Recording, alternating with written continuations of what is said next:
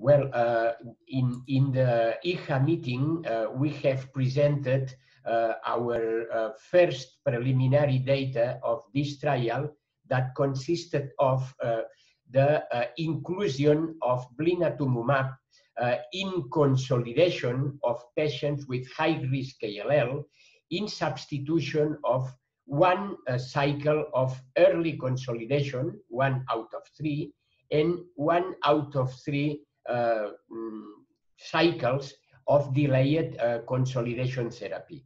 The, the novelty of this trial is uh, that we applied this trial to patients who had a good MRD clearance after induction, or pretty good, so less than uh, 1 to 10 to minus 3. And uh, our mm, results showed that after the first consolidation cycle that consisted of two chemotherapy cycles and one blinatumomab cycles, uh, we uh, have uh, uh reached a one log depletion of MRD level uh, compared uh, to post-induction level.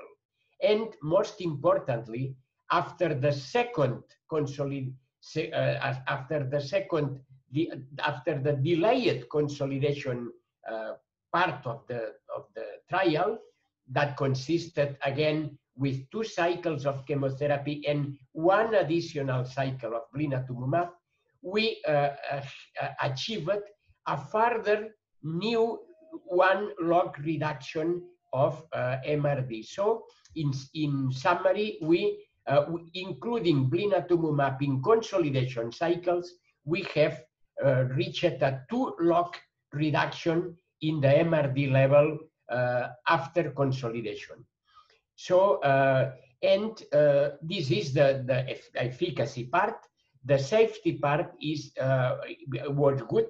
So we could include blinatumomab between chemotherapy cycles without, without any unexpected uh, toxicity. So we have some tox, uh, neurological toxicities, some cytopenias, but there were uh, in the frequency as expected uh, with the use of blinatumomab, but no additional unexpected toxicities were seen. So this trial is ongoing. Uh, we have included 11 patients to date, and out uh, and uh, today uh, 10 out of these 11 patients are are disease-free at the moment with uh, more than one year median follow-up.